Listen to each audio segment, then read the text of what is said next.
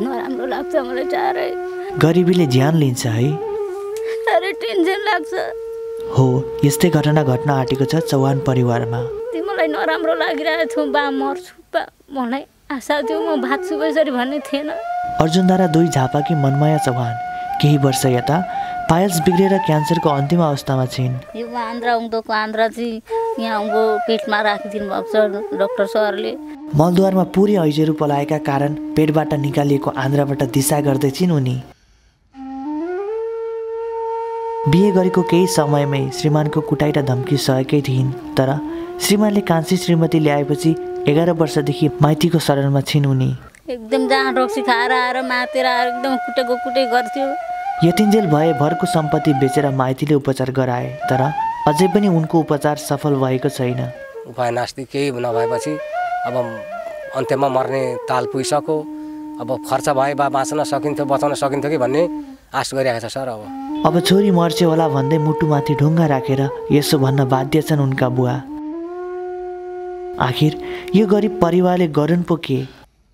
त्यो भनी बितो गरेर दुःख गरेर छोरीलाई हुर्काउँदै बढाएर ठुली बनाउँला भनेर अझै के के गर्नुला भनेको थिएँ घर गरी खाना भनेर बिहे गरेको मनमाएको घर बिग्रियो र घर बनाउँछु भनी सपना देखेकी उनैको घर लड्ने अवस्थामा छ आज। हेर्नुहोस् त। छोरीलाई सबै थाहा छ मम्मीको मम्मी मम्मी यस्तो हुँदैन भनेर छोरीले एउटा आमासँग मम्मी तपाईँसँग भेट हुँदैन भन्दै रुँदै गर्दा एउटा आमाको मन कस्तो होला? त्यस्तै भन्दै रुन्छन् रे छोरी। छोरीले मम्मी मम्मीसँग भेट हुँदैन मम्मीसँग कस्तो के हुन्छ? मम्मी। म अन्तिम अवस्थाबाट फर्केको हुँ। कसैले म बाँच्छु होला भन्ने आशासम्म गरेका थिएनन् भन्दै छिन् मनमाया सबैले सहयोग गर्नुहुन्छ अनुरोध गर्दैछु। हो अब अन्तिम आशा तपाईँ हामी नै हो चौहान परिवारको। गरिबी उनको लागि अप्ठ्यारो बनोस् धेरै गाह्रो बनोस् तर बिन्ती छ भगवान्। गरिबी मनमायाको लागि कहिले काल नबनोस्। पुरा भिडियो हेरी सबैले सेयर गर्नुहुन्छ भन्ने आशा गरेका छौँ। सकेको सहयोग गर्नुहोला।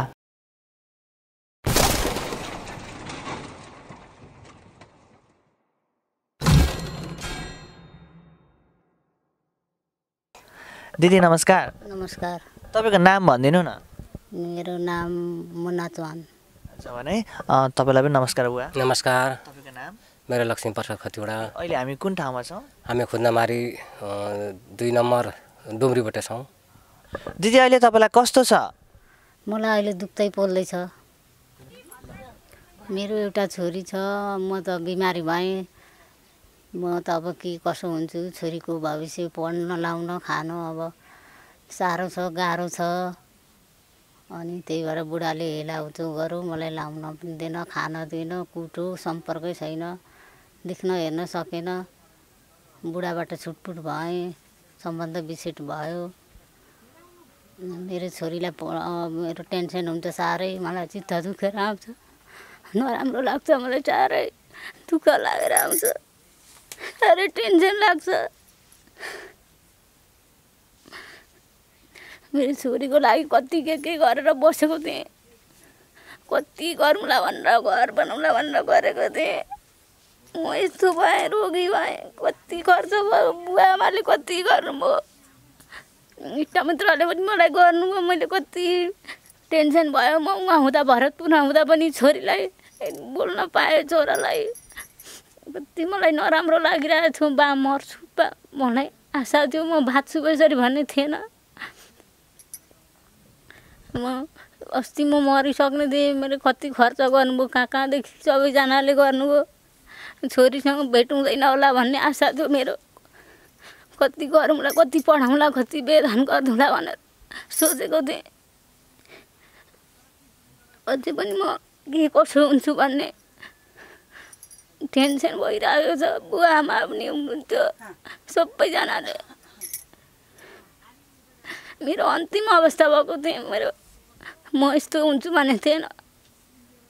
अझै बिहे गरेर म कति के के गरौँला भन्ने सोचेको थिएँ। एक्लै बसेर पनि गरेर खाइरहेको थिएँ। मलाई बिमारी भएर रोगले गर्ने दिएन। मभन्दा ठुलो बिमार लाग्यो।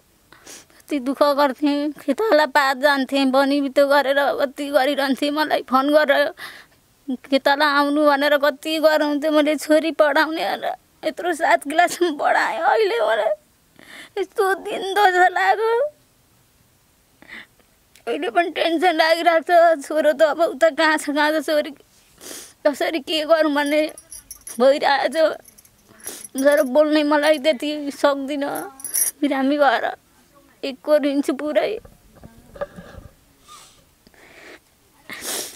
अनि छोरी स्कुल गइरहेको थिएँ कतिखेर आउँछ के हुन्छ कसो हुन्छ भनेर पिर लाग्छ म पछि छोरीले दुःख पाउँछ भन्ने भइरहेको छ यस्तो ठुलो दुःखमा तपाईँको श्रीमानको साथ नहुँदा कस्तो लाग्छ दिदी मलाई श्रीमानको वास्तै लाग्दैन राम्रो हेलाउचो गरेको छ पहिलेदेखि कुटपिट गरेर देख्न हेर्न नसक्ने मलाई वास्तै लाग्दैन अहिलेसम्म मायै लाग्दैन। कसरी कुट्थ्यो? कहाँ कहाँ कुट्थ्यो श्रीमानले चाहिँ? एकदम जहाँ रक्सी खाएर आएर मातेर आएर एकदम कुटेको कुटे गर्थ्यो। के गर्नुहुन्थ्यो त्यति बेला? अनि नानीहरूलाई बारेमा पनि आएर कुट्थ्यो तमास गर्थ्यो। खाना लाउनै दिँदैन थियो एकदम। जति काम गरेर पनि गरेको देख्दैन थियो। के गर्नुहुन्थ्यो श्रीमानले कुट्दा चाहिँ तपाईँ? केही नगरी खाएर आएर मातेर तमास गर्थ्यो मलाई। देख्न हेर्न सक्दैन थियो तपाईँ चाहिँ के गर्नुहुन्थ्यो त श्रीमानले कुट्दाखेरि अनि केही गर्दिनँ थिएँ रुन्थेँ कराउँथेँ। अनि जान्छु कता भनेर भन्थेँ एकछिन घुर्क्याउँथेँ ओर्थेँ। अनि कता जान्थ्यो कुटेर अघि जान्थ्यो। देख्न हेर्न सक्दैन थियो मलाई। अब कसरी उपचार गर्ने है? अब तपाईँ यस्तो जिन्दगीको एउटा मोडमा पुग्नु भएको छ। यता हो कि उता भन्ने मोडमा पुग्नु भएको छ। कसरी उपचार गर्ने? केही सोच्नु भएको छ? म जाति हुन्छु कता उति गरेर दबाई पानी गरेर भन्ने छ। अझै के कसो हुन्छ भन्ने भइरहेछ। मेरो अन्तिम स्टेप पुगेको छ। क्यान्सरको अन्तिम स्टेज छ क्यान्सरको अन्तिम स्टेप भएको छ। मेरो भरोसै छैन। सहयोग माग्नु पर्यो नि त अब पैसा हुँदाखेरि डक्टरले बाँच्छौ औ पैसा लिएर आऊ उपचार गर्नुपर्छ भनेर भरतपुर अस्पतालले भनेको रहेछ। सबैसँग तपाईँले सहयोग माग्नु पर्यो नि त दिदी। मलाई बचाउनुहुन्छ होला सबैसँग सहयोग मागेर अनि उहाँ भरतपुर आउनु भनेको छ। सबैले सहयोग गरिदिनु भन्नु पर्यो तपाईँले अब। सबैले सहयोग गर्नुहुन्छ भने अनुरोध गर्दैछु। यतिन्जेलसम्म चाहिँ क कसले सहयोग गर्नुभएको थियो तपाईँलाई थाहा छ? मलाई यतिन्जेल मेरो बाउ आमाले त आफन्त इष्टमित्रले छर छिमेकले गरिरहनु भएको छ। अहिलेसम्म यतिसम्म बचाउनु भएको छ। मलाई अझै पनि सहयोग गर्नुहुन्छ। सानो नानी चाहिँ बुनु चाहिँ छोरी कहाँ छिन्? छोरी अहिले मसँग साथमै चाहिँ अहिले स्कुल गइरहेछ पढ्दैछ। सात क्लासमा पढ्दैछ। छोरीलाई पनि थाहा छ तपाईँलाई के के भएको छ भनेर? छोरीलाई सबै थाहा छ। मम्मीको मम्मी मम्मी वास्तो हुँदैन भनेर अभियान पनि थिएँ। के भन्छ अरू छोरीले? छोरीले मम्मी मम्मीसँग भेट हुँदैन मम्मीसँग कस्तो के हुन्छ? मम्मी मम्मी साह्रै हुन्छ भन्ने थाहा छ उसलाई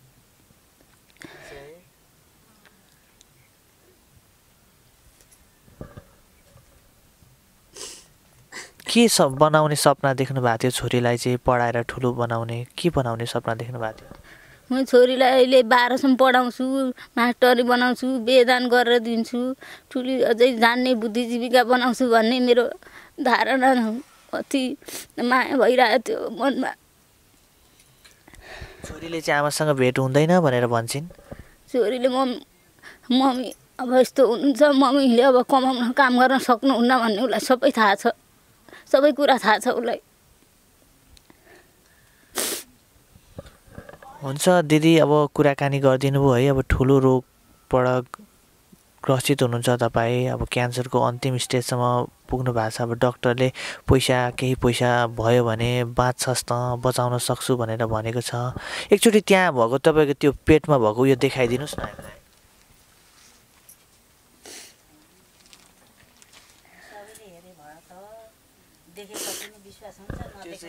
आन्द्रा है।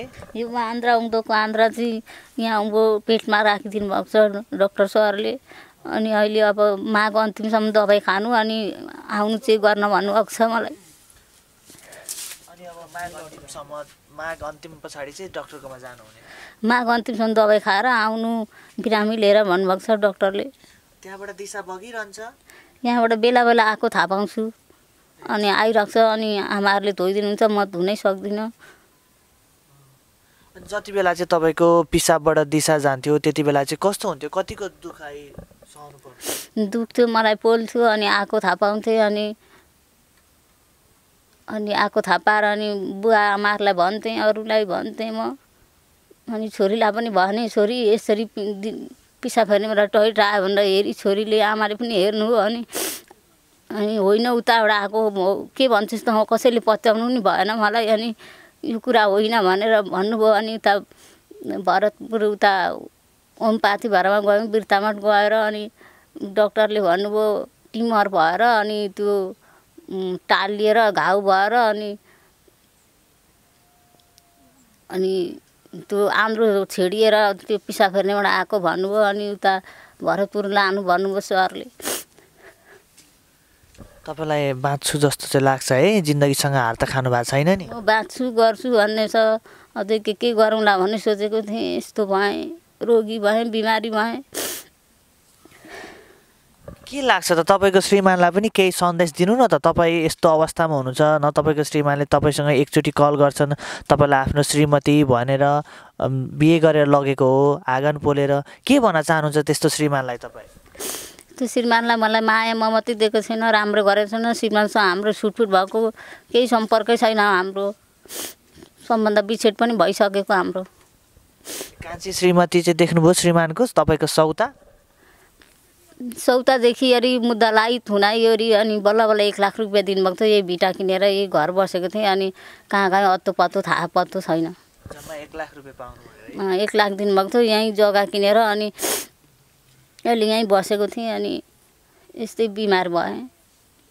जस घर बनाउनु आँट्नु भएको थियो अगाडि त हामीले ढुङ्गा पनि देखिरहेछौँ अब घर ढलिसक्यो लगभग है। घर पनि बनाउने भनेर यत्रो गरेको थिएँ दुई तिन लाख पैसा बनाइरहेको थिएँ यस्तो बनिबित्तो गरेर दुःख गरेर छोरीलाई हुर्काउँदा बढाएर ठुली बनाउँला भनेर अझै के के गर्नुला भनेको थिएँ। यस्तो रोगले भेटा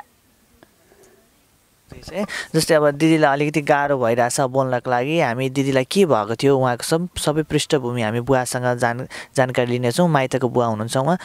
एकचोटि भनिदिनुहोस् न उहाँ कहिलेदेखि बिरामी हुनुभयो? के देखा परेको थियो सुरुवात दिनमा? सर अब यो पहिलेदेखि त उसले सबै कुरो त विवरण बताइन अलिक ढाँटी छे छली छे धेरै लुकाइ छे। त्यहाँदेखि पछि एकैचोटि मलाई त यस्तो यस्तो हुन्छ खालि टोइलेटबाट खुन जान्छ मासु चोक्टा जान्छ म के गर्नु बुवा भन्न थाली? अनि के होला के भएको होला त अनि यो पुस अहिले एक वर्ष पुसमा भयो पुसदेखि उसले त्यो खबर दिन थाली। अनि अब के गर्नु त भनेर अनि लु जाउँ दबाई गर्नुपर्छ भन्न थाल्यो सबैले यो पाएस होला भने। अनि लु जाउँ बिर्तामठ भनेर मैले लिएर गएँ। अनि कहाँ भन्दा विज्ञापन दिइरहन्थ्यो काफले आयुर्वेदीमा। अनि त्यहाँ लगेर त्यो काफले आयुर्वेदीमा चेक गराउँदाखेरि उसले हेऱ्यो हेर्दाखेरि यो पाएसै रहेछ भनौँ अनि दबाई दिन थालो। दबाई हप्ताको छ हजार सात हजारको दबाई एक हप्ताको दिन्छ अनि फेरि गयो अनि दिन्छ अनि दबाई एक एक झोला ल्याउँदै खुवाउँदै ल्याउँदै खुवाउँदै गर्दा खोइ कतै केही तातो छारो भएन। अनि गर्दै लग्यो गर्दै ल्याउँदा के भयो भनेर सोधिरह्यो छैन मलाई त केही भएकै छैन उस्ताको उस्तै छ भन्छे अनि फेरि एक दिन राम्रो आउँछ अर्को दिन उस्तै खुनै आइजान्छ। अनि खुन आयो भने चाहिँ फेरि पनि त्यसै भन्छे अनि छ महिना बितिसक्यो त खाँदा पनि केही भएन। त्यहाँदेखि पछि अब के गर्न त अब भन्दाखेरि यहाँ उसकै मास्ती छिमेकी तलतर सिर्जना भन्ने खनालले लु उहाँ मेरो बुढालाई पनि लगेको हो। यसलाई पास भएको हो त्यहाँदेखिको हुँदैन। पानी ट्याङ्की पारी जानुपर्छ। पानी ट्याङ्की पुल पारी मास्टर पाथिभर ओम पाथिभर भन्ने छ। त्यहाँ लगेर चाहिँ निको हुन्छ। भनेर उसले लिएर गई। अनि लिएर गई उसलाई चेक जाँच गरेर लिएर आई। अनि म गइनँ त्यतिखेर उसले मात्रै लगी। अनि पछि अब फेरि गएँ म। अब उसले मात्रै भ्याइनँ। म देख्न थालेपछि आफै जान थाल्यो। जाँदा जाँदै दबाई गर्दै थियो दबाई यो खानु दबाई धेरैवटा दबाई दियो धर दबाई दिँदै दिँदै गऱ्यो दिइरह्यो त खाइरह्यो। अनि एकैचोटि पछि म लिएर गएपछि अनि सुई हानो। सुई हानेर एकैचोटि अब सुई हान्दा चाहिँ मर्नु बाँच्नु जस्तो बनायो। अनि मै गएर लिएर आएँ अनि त्यो दबाई दियो अब निको हुन्छ यसले भनौ। अनि त्यसमा पनि चेक गराउन ल्याइहाल्नु भनौँ हप्ते पछि लाँदै गरियो। लाँदा लाँदै अब पछि निको हुन्छ होला भन्दै हामी त एकदम विश्वास भएर पऱ्यौँ पर्दा पर्दै पछि एकैचोटि दसैँपछि टोइलेट त पिसाबबाट पाउन थाल्यो भन्न थालेँ। अब कसरी पिसाबबाट आउँछ भनेर चाहिँ कसैले नपत्याउने कुरो भयो। सबैतिर बु गाउँभरि बुझ्दाखेरि हुँदैन यस्तो पिसाबबाट दिशा आउँदा मा- मान्छे बाँच्छ भन्ने उपचार पारीको। सकिवरी चाहिँ उसले चाहिँ उ- त्यो- उ जाति पत्र पनि दिइसकेको थियो। जाति भयो। भनेर उसले चाहिँ पत्रहरू एउटा एउटा दिँदो रहेछ। उसले ग्यारेन्टी पत्र दिएर सकि सकिएको थियो उसले दिएर। अब जानै नपर्ने बनाएको थियो। अनि त्यति गर्दा पनि भएन। अब के गर्नु त यस्तो पिसाबबाट दिशा आउँछ भने यसले के गरेको त? लु जा त आमा छोरा। अहिले बोल्न सक्ने तिमीहरू थर्काएर आ भनेर पठाएको। उहाँ गएपछि लु मैले त अब पासको गरेँ हौ। पासको निको पारेको छु। अरू विभिन्न ट्युमर भएको छ क्यान्सर भएको छ पाठेघर बिग्रेको छ तिमीहरूको हातखुट्टा भाँचेको छ भने म अरू कुरो कुनै पनि जान्दिनँ भनेर चाहिँ हातटौटा पारेर पठाएछ। पठायो पठाएपछि अब साह्रो गाह्रो भयो। अब पिसाबाट दिशा जान्छ भने राखेर भएन। अनि मैले फेरि यहाँ भ के अरे लगेर बजरङ्गमा लगेर भिडियो एक्सरे गराउन लगेर गएँ। के रहेछ भनेर। त्यहाँ अनि त्यहाँ महिला डक्टरले हेऱ्यो अब नर्सनाले हेर्दाखेरि लु यो त्यहाँ यहाँ हुँदैन माथि मन मनमा लानु। त्यहाँ डक्टर आउनुभएको छ भनेर त्यहाँबाट पठाएँ माथि। त्यहाँ पाँच सय रुपियाँ तिरिराखेको थियो पुर्जाम दिएको थिएन माथि मन मन लिएर गएको। उहाँ गएर डक्टर सोद्धाखेरि ओम सयपाथीबाट अँ, मेचीमा भद्रपुर लानु भनौँ उहाँ हुनुहुन्छ भनेर फोन गरिदियो। त्यहाँबाट लगातार अब डबल भाडा तिरेर उहाँ लिएर गएँ। उहाँ लिएर गएर अनि अनि बेलुका डक्टर पाँच बजी मात्रै भेटियो। उसले सबै नालीबेली हेर्दाखेरि यो खतरा छ यो लास्ट भइसकेको छ यहाँ गाह्रो छ म भोलि बिहान भन्छु भन फेरि। अनि त्यसमा उहीँ दबाई सबाई दिएर राखियो सेलेनियर दियो उहीँ राखी छोडियो। अनि भोलिपल्ट बिहान अनि छोराहरू पनि गएछ छोराहरू गएपछि यहाँ हुँदैन। यहाँ यतिसम्म चाहिँ म गर्न सक्छु पाइप काटेर माथिबाट थैलो झुन्याउनु चाहिँ सक्छु तर उँधोको म खोल्न सक्दिनँ त्यो टालिएको। यो पुरा टालिएर भरिएको छ। यो भरिएपछि अब यो खोल्न गाह्रो छ। अब यो के हुन्छ अब यो थाहा छैन। यहाँ हुँदैन उहीँ लानु ठाउँमा भरतपुर भनौँ। अनि भरतपुर भनेर अनि अब कहिले लाने त भन्दाखेरि अब पर्सि निकोर्सीको तिहार छ। तिहारमा त अब बिदा हुन्छ सरकारी हस्पिटल। अनि के गरेँ भने लु चार दिन जसरी पनि राख्नु चार दिनपछि लानु भरतपुर भनौँ। अनि चार दिनसम्म दुःख सुखले राखियो ओऱ्यो खानु केही छैन। अनि त्यहाँबाट भरतपुर टिकाको भोलिपल्ट माइली बुहारी र जेठा छोरालाई लिएर पठाएँ। पठाउँदाखेरि अब उहाँ गर्दैन हेर्दैन कहिले निक्लिँदैन ठुलो हस्पिटलमा अनि साह्रो गाह्रो छ मान्छे। मर्ने बाँच्ने टुङ्गो छैन अहिले मर्ने कि भरे मर्ने। त्यस्तो भइरहेछ बल्ल बल्ल बल्ल उसले चेक गराएर दबाई दिएर एक दुई दिन राखेछ। राखेर पछि अब के गर्ने त भन्दाखेरि अब पाइपभित्र आन्द्रो काटेर थैले झुन्ड्याइदिएछ अब अरू सम्भव छैन अहिले। अब यो पछि सम्भव भयो औषधि खाँदा हुन्छ भने म गरिदिन्छु हेरिदिन्छु। नभए अहिले यतिसम्म मात्रै भनौँ अब कसरी बाँच्ने र कसरी बचाउने खर्च आर्थिक पनि छैन।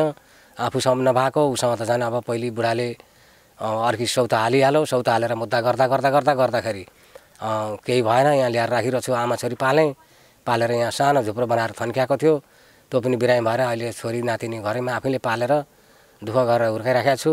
अब यति बेर मेरो पनि खर्च छैन उसको पनि सकियो अलिअलि दिने जति ठाउँमा पनि सकियो। अब उपाय नास्ति केही नभएपछि अब अन्त्यमा मर्ने ताल पुगिसक्यो। अब खर्च भए बा बाँच्न सकिन्थ्यो बचाउन सकिन्थ्यो कि भन्ने आश गरिरहेको छ सर अब। जस्तै भरतपुरमा चाहिँ के भएको भन्यो? क्यान्सरै भएको भन्यो कि? क्यान्सरै पाँच पाँचौँमा पुगेछ क्यान्सर भनौँ भन्छ केटाले। अब स्टेप नागेर गयो यो अहिले गाह्रो छ अब यो औषधिले त्यसलाई पेल्न सक्यो र पछाडि खोलाउन सकियो भने यो निको भयो भने अनि खोलाउन चाहिँ भनेको छ। अरे भन्न चाहिँ अब खर्चकै काम छ पैसा नै होला पैसा भए हुन्थ्यो होला।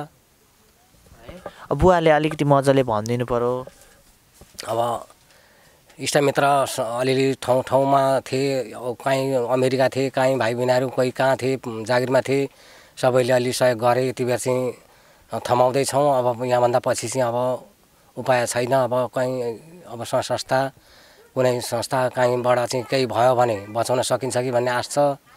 त्यहाँदेखि त अब उपाय छैन। बेच्ने ठाउँ पनि जग्गा पनि थोरै छ जग्गा बेच्दा पनि नपुग्ने भइसक्यो ऋण चाहिँ लागिसक्यो। ऋणले डुबिएको छ यो जग्गाले नपुग्ने भयो। अब कतै सङ्घ संस्था सरकारबाट काहीँ उपलब्ध कतै अलिअलि भयो भने बचाउन सकिन्छ कि भन्ने आश चाहिँ गरिरहेको छ सर। हुन्छ अब कुराकानी गरिदिनु भयो। हुन्छ अब पक्कै पनि धेरै दर्शकहरूले हेर्नु भएको छ। तपाईँलाई सहयोग गर्नुहुन्छ भन्ने आशा छ। हामी पनि तपाईँको सहयोगको लागि आह्वान गर्छौँ। दर्शक पनि ज जसले हेर्दै हुनुहुन्छ कृपया भिडियो सेयर गरिदिनु होला। आर्थिक सहयोग गर्न सके आर्थिक सहयोग गर्नुहोला नत्र भिडियो सेयर गर्नुहोला आर्थिक सहयोग गर्न सक्ने दर्शकहरूको हातसम्म पुर्याइदिनुहुन्छ भन्ने आशा गर्दछौँ। यतिन्जेल भिडियो हेरेर साथ दिनुभएको धन्यवाद। दिदी अब चिन्ता नगर्नु है तपाईँलाई धेरै सहयोग गर्नुहुन्छ। हामी त्यही आशा गर्छौँ है। चिन्ता नगर्नु ल।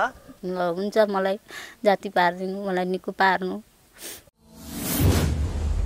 Please subscribe our channel Smart Nepal and hit the bell icon for more updates.